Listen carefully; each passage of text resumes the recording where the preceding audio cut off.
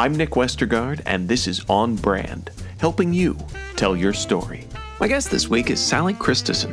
When I started, if you went to the landing page of every brand that purported to be catering to the working woman, every landing page was a white blonde model. And so I just didn't feel like brands were reflecting who I was seeing day in, day out as a professional woman. And so the opportunity to infuse that storytelling. So, both celebrating professional women and their journeys, and how do we give women tools to navigate the workforce and remove barriers for them.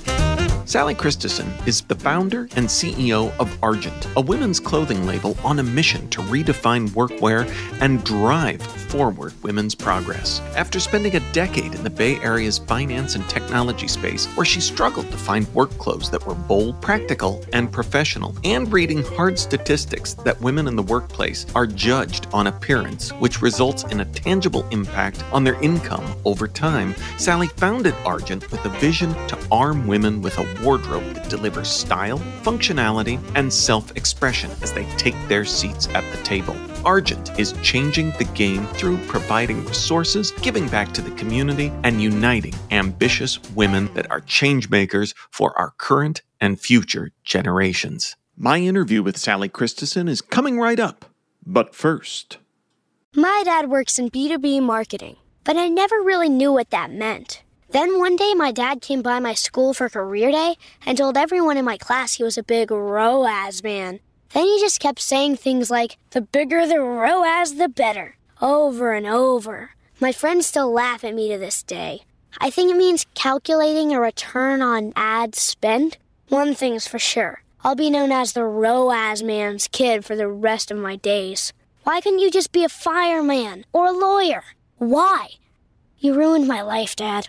Not everyone gets B2B, but LinkedIn has the people who do. And with ads on LinkedIn, you'll be able to reach people based on job title, industry, likelihood to buy, and more. Start converting your B2B audience into high quality leads today. We'll even give you a $100 credit on your next ad campaign. Go to linkedin.com slash MPN to claim your credit. That's linkedin.com slash MPN. Terms and conditions apply. LinkedIn, the place to be, to be. You may know you're listening to this show along the Marketing Podcast Network, but did you know there are other great shows on MPN to help your business? Danielle Wiley hosts a great podcast called The Art of Sway. Danielle, tell us what you talk about on the show. The Art of Sway brings listeners inside the world of marketing as seen through the lens of influence. So each week I chat with an expert guest for a lively discussion about connecting ideas with audiences in an attempt to uncover all the ways influence impacts how and what we discover, purchase, and recommend to each other. Wow. And where can people subscribe? Go to theartofswaypodcast.com, find the show at marketingpodcasts.net, or search for The Art of Sway wherever you get your podcasts. You heard her. Go subscribe. Sali Christeson, welcome to On Brand. Thanks for having me. What an intro. Well, I, you know, it is your bio, and uh, and and certainly uh, impressive, powerful. And as I'm thinking about this, I'm reminded that uh, my own little connection here is that I'd like to think that I am married to one of those ambitious change making women. That is how I learned about the Argent brand from from my wife, who is a big fan, and both you know working in the uh, in in the brand building space were those people that when we get packages we unbox them for one another and show off the different brand touch points. And i have to say that i was drawn to the the argent experience even when that package comes to you it is something pretty special the, from the box to uh, the card inside that says i believe ambition suits you. Yeah. Um, and it is it is an an experience. So your bio tells a bit about where this started, but uh, what was it in putting all of this together? You talk about both your own personal need that many entrepreneurs feel, uh, but also some hard statistics. What told mm-hmm. you that this was an idea worth pursuing? Yeah, first of all, I will say that your wife certainly embodies the brand, and I'm glad that it brought us together. Uh, and I feel like there are really cool women that exist in our community that we're discovering every day, and it's really exciting and why we exist. So um, I'm just happy that uh, we made this connection. Uh, yeah, so honestly, I avoided starting Argent. I am entrepreneurial at heart and have been wanting to be in business since I can as young as I can remember. All I wanted was my own desk and my own stapler and my own computer and notebook and pens, you know. Um, and so I pursued a more traditional path, uh, studying business in undergrad, going into finance and banking. I pursued my MBA in international business. And then went into a program at Cisco. Uh, it was their leadership rotational development program. It's essentially a fast fast track through um, the major functions in their supply chain organization. I I've always been driven by a desire to learn. And uh, a constant pain point throughout all of these experiences was finding something to wear. And so it was always in the back of my mind, and it was a shared pain point across every peer group. I did know that I wanted to start a company at some point. The way that I work is I need to have a holistic understanding of business and have that hands-on experience which is what i was pursuing knowing that probably around the age of 30 i'm going to quit and start something. Starting a fashion company was certainly not what i wanted to do because i know how tough of an industry it is. The business of fashion is notoriously impossible um, but what compelled me was reading the study that you mentioned while i was at cisco. So this was in 2015 it was the busiest I've ever been. I was working in cloud, which was a new initiative for Cisco. I was sleeping like two to three hours a night. Um, but what was what remained a challenge was finding clothes that are work appropriate for the different demands of the job and this like casualization that was happening in tech. They were really at the forefront of that. No one was setting a standard for that. So I read this study that comes from come out comes out from HBS that quantifies the impact on what you wear on your bottom line. I'm I have a front row seat to the problem and that that was kind of it for me. I just had this aha moment of this is a white space. It is the only real clear white space I think that's in the apparel industry.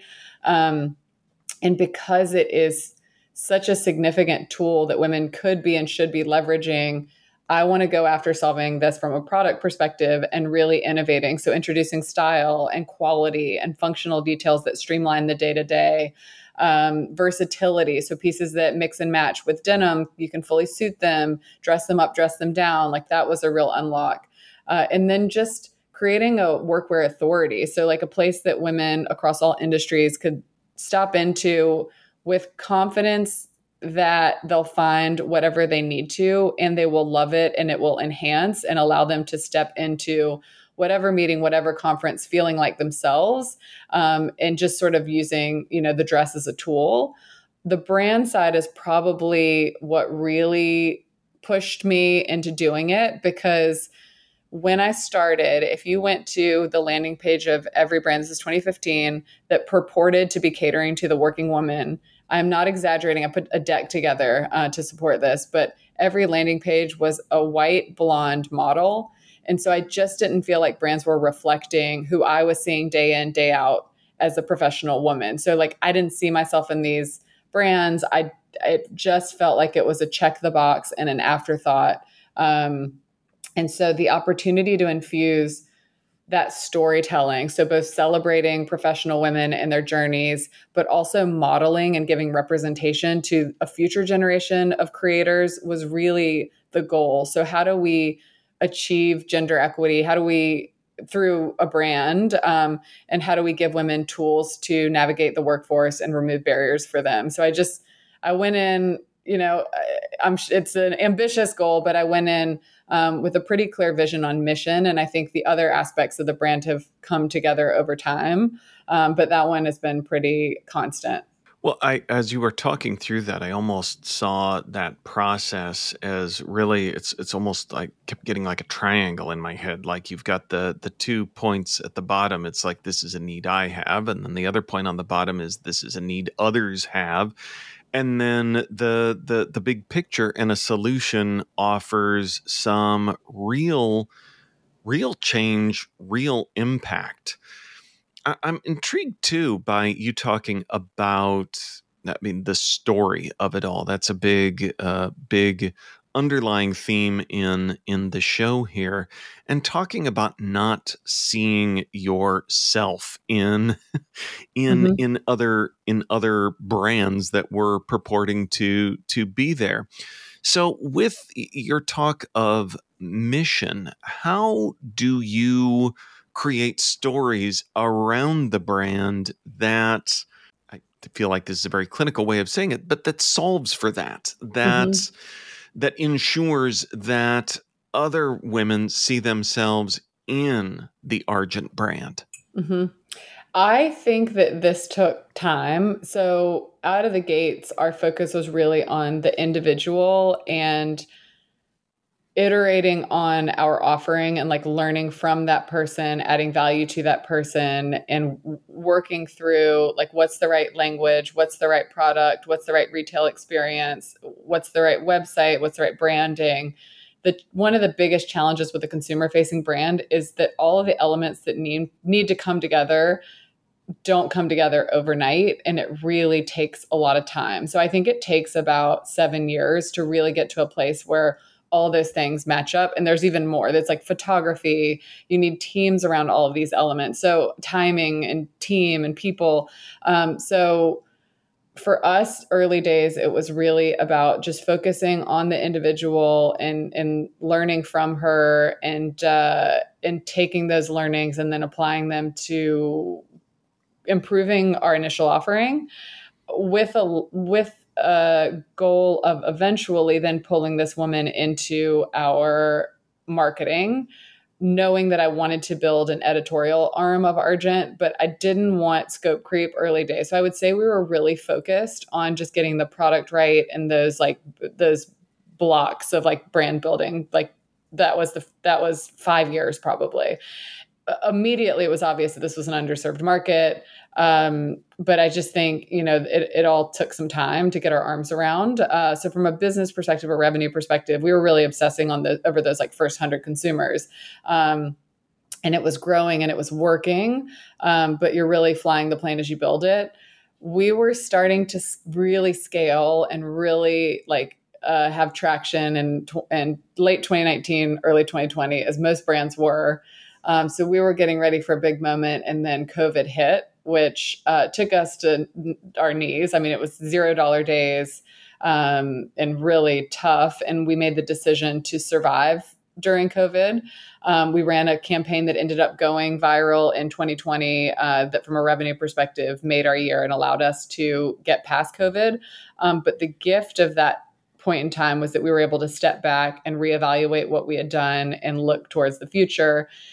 And we had just we had just started featuring professional w- women um, through our photography. So we had pulled in, you know, Olivia Nuzzi, who is a writer for New York Magazine, who's cover who covers politicians in the White House. Um, she just had a huge story on Biden that uh, broke through probably about a month ago. But she's, I mean, she's had ten covers. She's just she's remarkable. Um, we had Josie Duffy Rice, who is a criminal um, justice reform uh, activist and has her own podcast. So we we brought these women in, we photographed them, and we were just starting to infuse their imagery into the brand. So I think that that obviously was the first step in connecting the dot between customer and then seeing themselves in the brand during COVID, we made the decision to then bring on an editorial director. And now you can see that we've really graduated beyond focus on the individual and we're looking at community building and connecting these women and trying to establish relationships that exist beyond Argent because there's so much value in that. Um, so we've we've certainly evolved how we feature women, um, which that's our uh, marquee editorial franchise. I would say it's called Work Friends. Uh, we do a full write up on them. We just launched a podcast featuring them. Um, we photograph them, and then we really want to be a resource to them and to our community. So, whatever we can do um, to sort of unlock relationships, that's really the goal.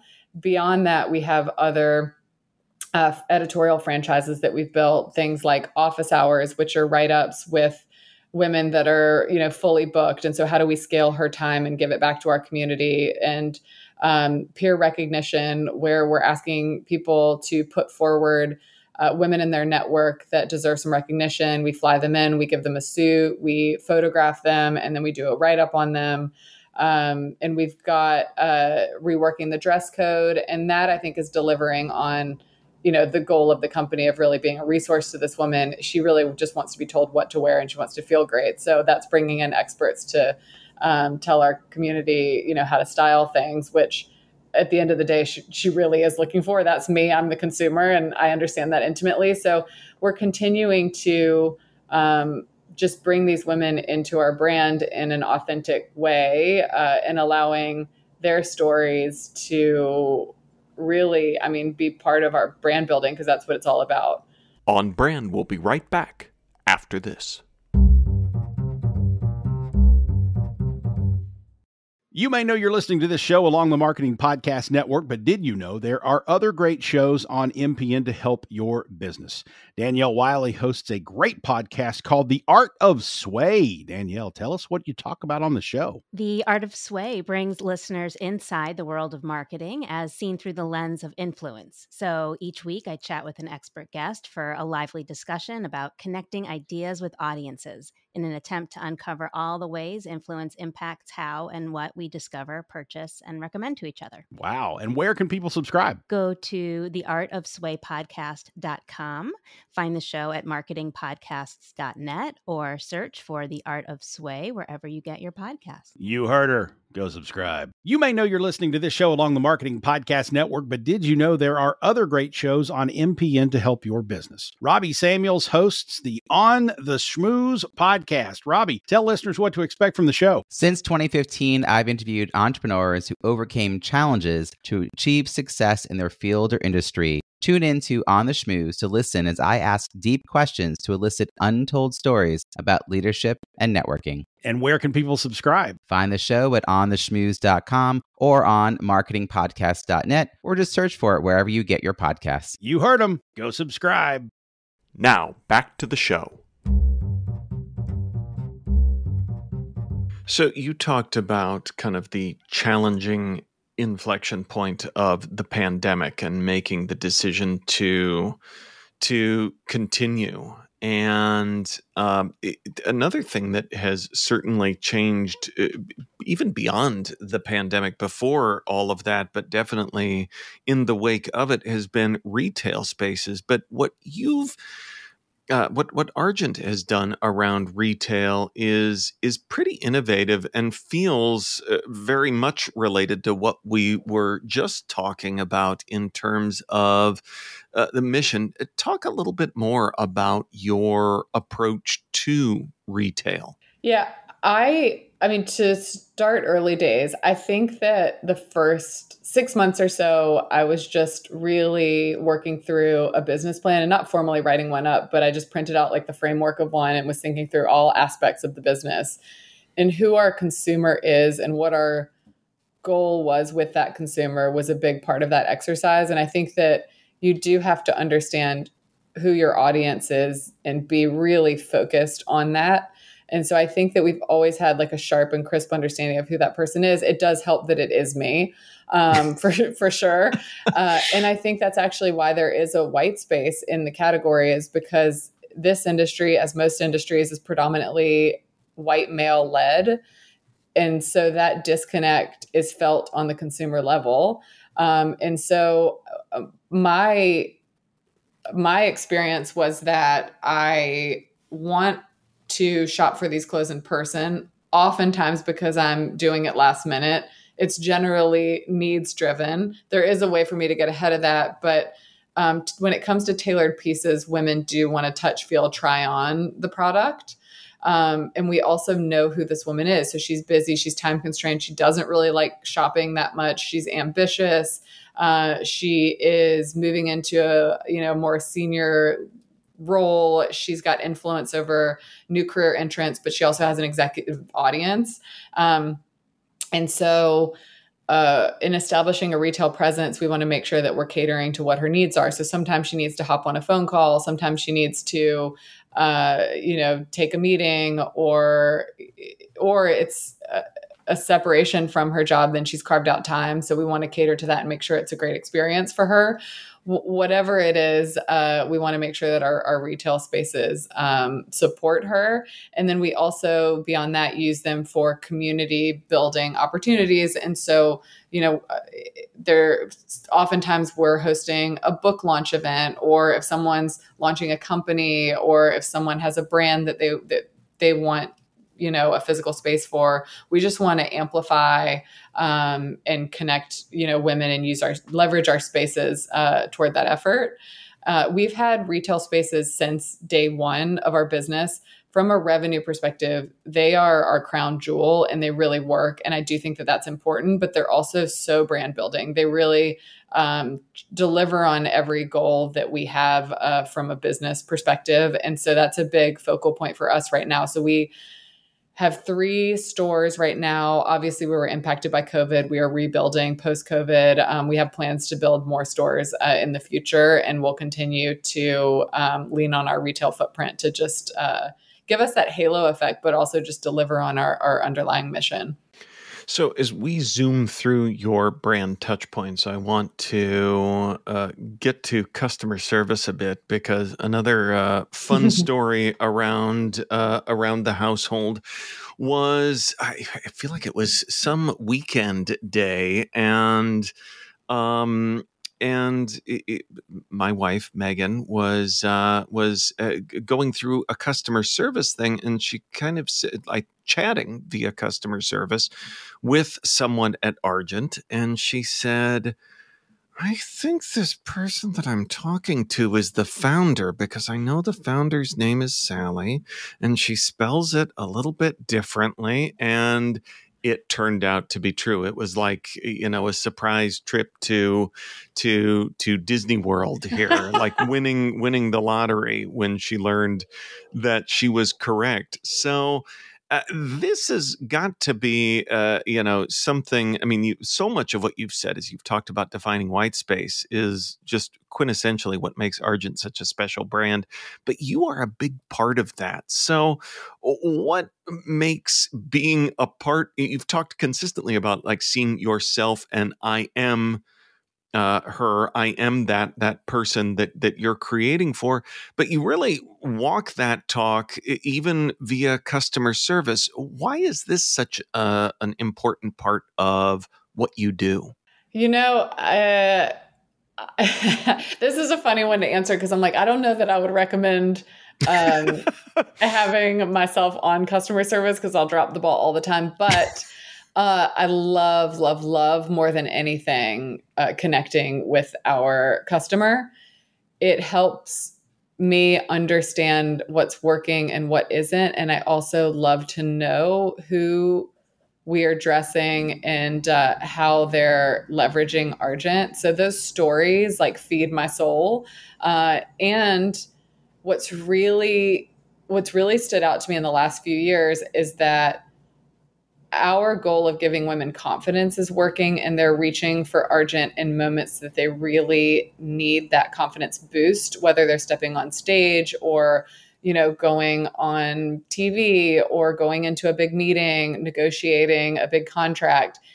It has been consistent that women are reaching for Argent and that excites me so much to be a part of those moments and to have a front row seat to these uh, career defining experiences for women. So I think for me, well, one, I want people to have a great experience, um, but really, I just want to stay connected with the customer as much as possible. So I will jump in on uh, customer service at times. The problem with that is that uh, if I respond, then it, when the customer comes back, it will go only into my email. And so I certainly dropped the ball because I, as you can imagine, have other responsibilities. so it's not something I would recommend in its entirety, or I need to figure that out. But I love it. And, um, you know, the school of thought is higher for things that stress you out or take away your energy. For me, this is something I always want to stay close to because I think it is our superpower and what we're building. In terms of um, brand building and, and Argent being an extension of myself, I think that authenticity comes when you start a brand and it is so closely connected to who you are. I will say that I was very reluctant to be front and center um, and use my you know i'm just more of a behind the scenes introverted person generally. Like i wouldn't have social media if argent didn't exist. And so i think i was reluctant to be the face of the brand. And you can see that in our early day footprint. Um, with that said it is necessary. People want to know you. People want to hear from you. I think that it's a it's a pretty important part of, of building something like we're building, and so I've leaned into that more in the last few years, and uh, it's working. It's tiring, but it's it's working, and it's exciting. It's exciting because uh, I think it just gives people an, something else to connect to, but I also think that um, it's it's sort of serving again on our founding mission, which is to remove barriers for women and just give them a push. And so um, through doing things like the podcast, which I'm hosting, uh, we're giving women access to these conversations with these high powered, successful women.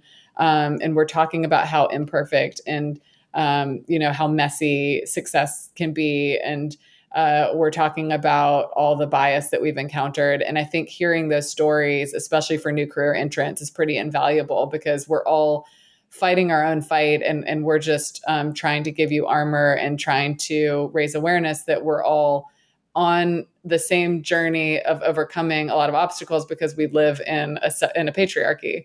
Um, so that's sort of the evolution of of using my likeness, I guess, with an association with the brand. Yeah, and it all comes back to what you said too about looking for a brand that you can see yourself in and that's mm-hmm that's a big part of that but also in in who you see in the brand that is breaking barriers and you know i have to mention that uh, argent's community has you know has suits on folks like Dr. Jill Biden, Hillary Clinton, Meghan Markle, Gloria Steinem, Amy Poehler, and Kamala Harris, mm-hmm. who, as we look at in this moment, um, you know, it seems very much aligned with what you were just talking about in terms of of breaking barriers and armoring up. So, what what does it mean to have your brand, which you've designed really for this moment, being a part of this moment in such a way? It's pretty surreal, I'll be honest. The last couple of years. So, the bet that we made during COVID was that I made, and I received so much pushback on this, but I, I just knew that coming out of COVID, there would be delayed consumerism, it would be a wiped out competitive landscape, and that there would be an appetite for the product in a way that we'd never seen before.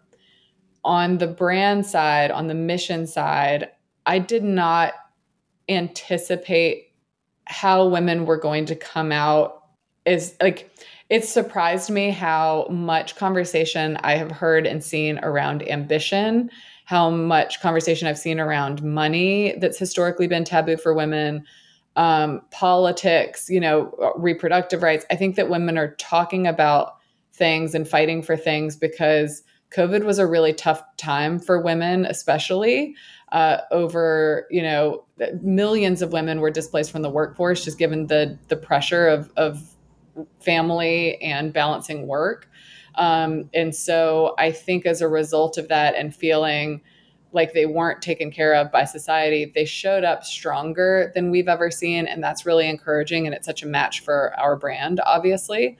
Um, and so I just think there's this energy around women, and we recognize that, you know, I, I'll butcher whatever the saying is, but like we are now the adults in the room, and we are the ones that need to show up and fight for um, ourselves and our daughters. And I think that there's just this newfound energy and connection.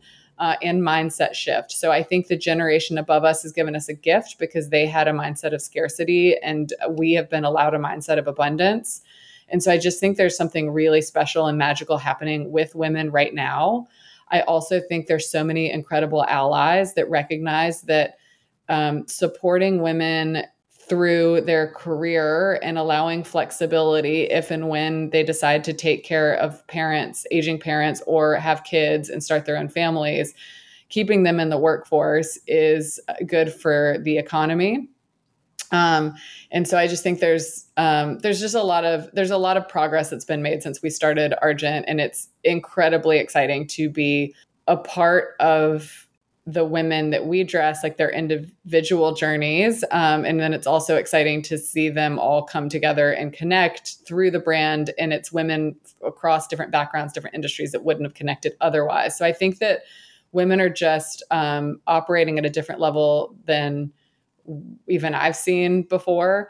Um, and to be a part of that is like the greatest gift. That's why Argent was founded. And to be dressing the women that we are uh, it it's incredibly exciting. And honestly, like the women that I get the most excited about are women that are not household names, and those are the ones that we're trying to feature and celebrate and um, you know platform because that's that's the thing is that women have been sort of you know lurking in the shadows when it comes to work and haven't always been recognized or compensated or you know um, spotlighted for really really hard work and balancing so many things in their lives. And that's what our goal as a brand is uh, and it just it feels like a really exciting time. So to be a part of that is that's what gives me the energy to still be standing. Oh that's awesome Sali, this conversation has made me smile so many times. I am excited to get to ask you for a brand that has made you smile recently. Oh, I knew the question was coming, and yet still, it's a hard one. I mean, I let's see. Ha ha ha ha ha. I have, as, as you can imagine, uh, I encounter a lot of brands in in my orbit. Uh, I think you know, if are we talking about a consumer brand or any brand? Any brand. Yeah, could be a I, personal brand in, in anybody. Oh, oh, I've I've I've I've, I've flummoxed. I see. I've. I've oh. um I mean, from a branding perspective, and this will timestamp our conversation, what's happening around Kamala Harris is incredible. Yeah. Uh, this is best outcome you ever could have imagined in terms of coalescing around a candidate and how they've like stepped into this moment and really um, met the moment. So I think that that uh, has put a smile on my face because I've seen women showing up, especially and young yeah. women registering to vote for the first time, um, and they're it just has re-energized um, a lot of people who I think were feeling disenfranchised. Um, something more simple. There's a brand, Super Smalls, uh, that's focus. Their focus is on um, kids and making accessories for kids. And uh, we recently just got these like little gems that are like stick on gems that my kids are having the best time with. So that put a smile on my face just because um, there's levity to that and there's fun in that and they're having a lot of fun uh, through their brand and through their products and it's a female founded company it's a great company uh, and all of their products make me happy because they make my kids happy awesome I love all of that. Sali, where can folks go to learn more about who you are and what you do? Oh boy. Okay. So a couple of different ways. Uh, social media. I mean, I honestly think you can find find out more about me from following Argent than following me. Uh, but but Instagram uh, is Sali Christeson, uh, and then we're at Argent. Uh, we, as I've mentioned a couple of times, recently launched a podcast, which I'm really excited about. Uh, it's called Work Friends. you can find that on all streaming platforms. And then our website is argentwork.com. I think those are the big ones. And awesome. LinkedIn, of course. Awesome. Well, we will link up to all of that in our show notes, which folks can always find at onbrandpodcast.com. Sali Christeson, thanks for being on brand with us. Thank you for having me. This has been a lot of fun. On Brand is part of the Marketing Podcast Network. If you like what you're hearing, if we've made you smile, you can always listen free on Spotify, Apple Podcasts, or whatever your favorite platform may be. And please take a moment and rate and review the podcast to help others find the show. Until next week, I'm Nick Westergaard, and I'll see you on the internet.